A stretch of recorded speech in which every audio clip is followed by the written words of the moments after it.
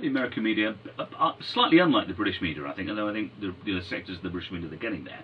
Uh, you are fed a much more insular kind of diet of news in America. The most corrupt here. media in the world, I would say. Although well, the I think- competition is intense. Well, yeah, okay. Um, but if but there's so much stuff out there on the internet now. Most people, I would assume, in America, ignore it still and say, "Sorry, we just don't believe it." Because let's face it, it's very easy to start a conspiracy theory. Well, my first thing, conspiracy. It used to be a conspiracy theory, but now it's been proven. So, it's So why why aren't the so if it's so so obvious and it's so proven, why aren't the American people standing up and saying enough? Well, some of them are, But, and, but, and but I the just vast cited. majority aren't, though, I are cited the polling data. The problem is you have the Democratic Party, strangely enough, is more dedicated to the 9/11 myth than the Republicans because the Democrats say we're the true church of the 9/11 myth. Right. Bush went astray into Iraq, but we are the ones who keep saying Bin Laden, Bin Laden, Al Qaeda, Al Qaeda, and now we have the U.S. destabilizing Pakistan. Interesting story. Cheney went to Pakistan at the end of February, and he hmm. said to Musharraf, "Guess what? You will now attack Iran with your Islamic bomb." And Musharraf, much to his credit, said no. And what you see, the hysteria right now, is a U.S. British destabilization of Pakistan because he refused to join in the war against Iran. Where does this all end, though? Because surely the credibility of the American government, if what you're saying is true, is in such tatters. How can they continue to, you know, how can the, the, the American people and indeed governments from around the world continue to support them and accept what they're saying? Well, we hope that they won't. Uh, I would say uh, being a member of NATO right now is something like being a member of a suicide pact. I would Mhm. not do it. I was in Canada. I urged them to rethink being a member of NATO. I would say the same thing here. That's your affair, but you really have to think Where does it whether end, you though? want to be dragged and how in. does it end? Because if you follow this through to its logical conclusion, where do we end up? Well, you know, in the U.S., we have a history of, of producing these social movements at various times. I think right now, I would certainly say impeachment of Bush Cheney is a mass movement. You can drive across the United States and you can see middle class or even you know upper middle class neighborhoods Hmm. with big signs: impeach him, impeach both of them, impeach Bush, impeach Cheney. That's a mass movement. How long has he got to go now? It's about, what, 18 months, is it? Less than Um, J- January twentieth, two thousand and nine. But? Right. Remember, the Spanish uh, tactic, of course, is if you have big terrorism, you can declare a state of emergency and call off elections. And Do you that's think that- do you think that might happen then? discussed. I think that's a real danger. A lot of Democrats have these countdown clocks. You can buy a watch Right. that tells you how many more days, hours, and minutes of Bush, except it's a fallacy because that assumes that there's going to be legality. And the whole thing is what Cheney's thinking of is new 9/11, attack on Iran, and martial law. If And there's no reason for If it. there is an election and the Democrats do get back into power, as some people think they will, is that going to make the, the matter any better, or are they in on it as well? Uh, it depends a little bit on who it is. Uh, Right. Mrs. Clinton, I'm afraid, is a warmonger who has actually tried to profile herself as being more aggressive on Iran than Bush. There was a phase of about two years where Bush was always saying, let the Germans and the French do the negotiation. Mrs. Clinton was attacking him from the right, from the warmonger side, saying, I'll attack Iran faster than he will, and I can get you European troops and European money that Bush can't get you. So Mrs. Clinton would be a disaster. Right. She would guarantee eight more years of war in Iraq. And I think that is a growing. She voted for this Kyl Well, Lieberman just amendment. talking about Iraq for a minute, what do we do about Iraq now? Because obviously we've got ourselves embroiled in this, and it's a mess. I mean, anybody who's seen what's going on in Iraq knows it's a mess.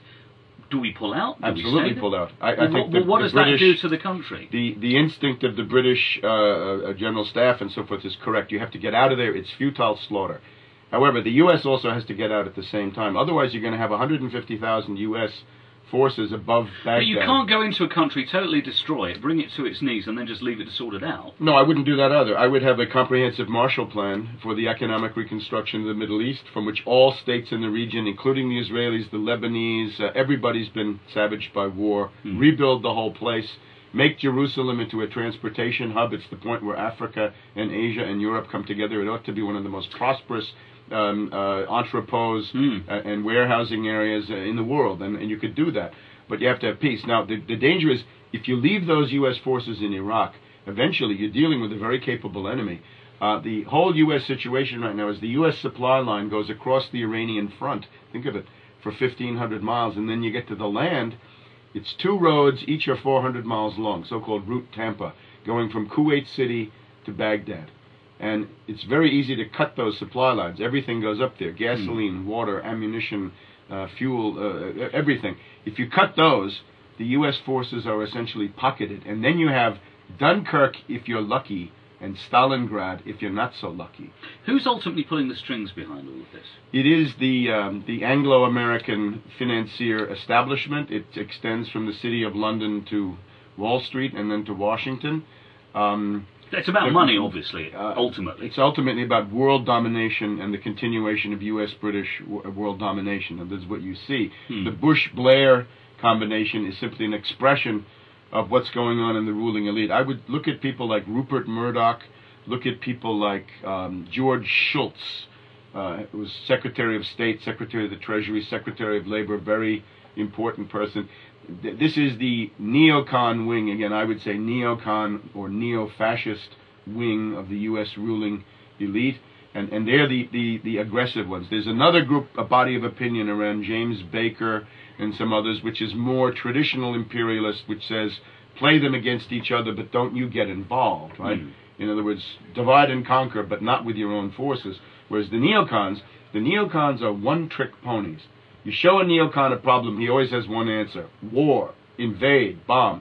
Their, here's their perspective: U.S., Britain, and Israel against the world forever. This is no future for Britain or for anybody. Look ahead 25 years from now. Where are we going to be with all this?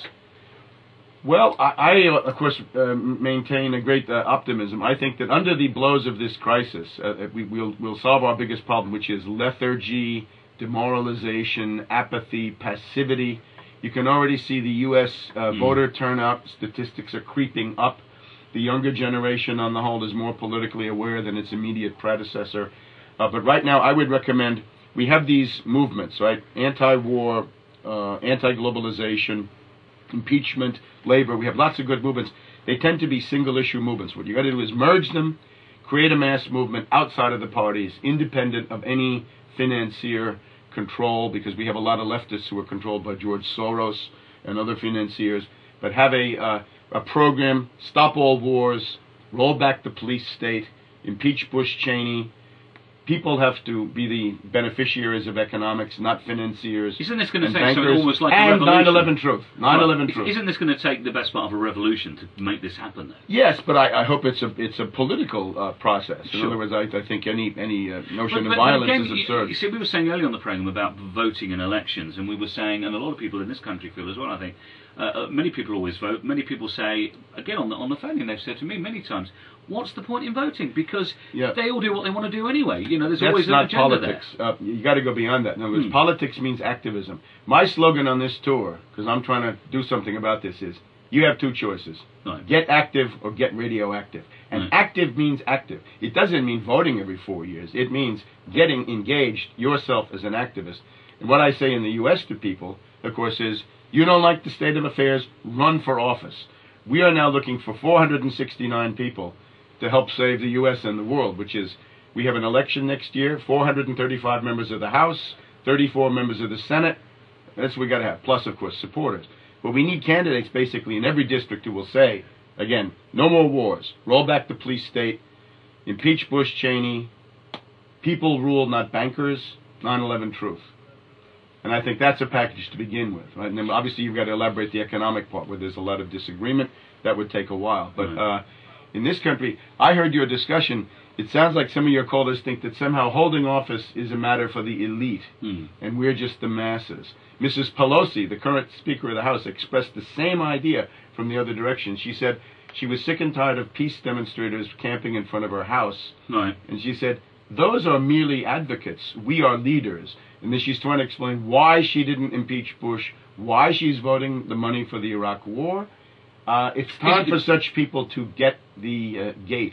In other words, they should be ushered to the door, Right. thanked for their services, and sent into well-deserved retirement. All right, interesting stuff. We're out of time, sadly. We could go on talking for hours. If you want to find out more, uh, Webster will be there tonight uh, at the QEH Theatre on Jacobswell Road at 7. Tickets are £5 on the door. First come, first served.